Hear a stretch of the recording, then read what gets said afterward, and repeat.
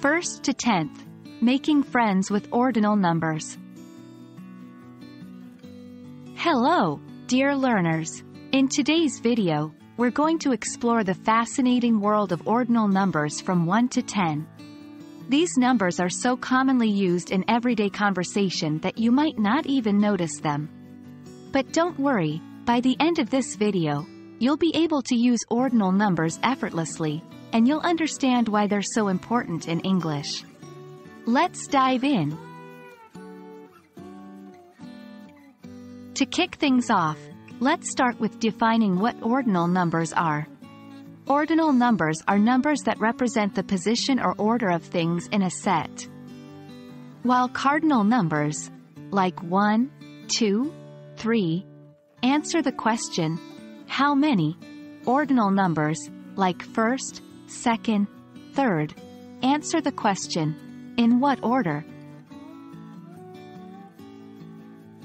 Now, let's look at our ordinal numbers from 1 to 10. They are 1, first, 2, second, 3, third, 4, fourth, 5, fifth, 6, sixth, 7, seventh, 8, eighth, 9, ninth, 10, tenth.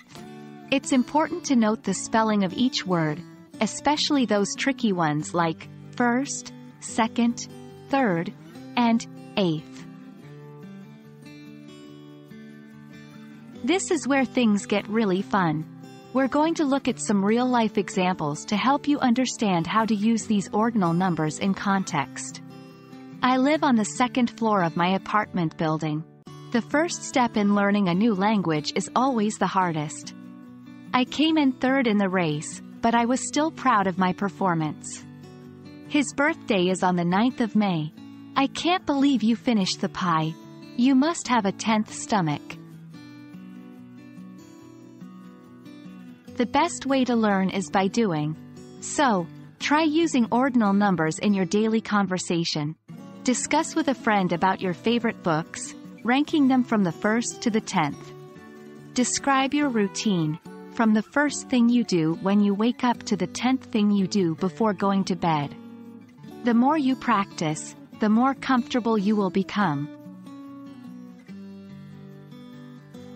And that brings us to the end of this video.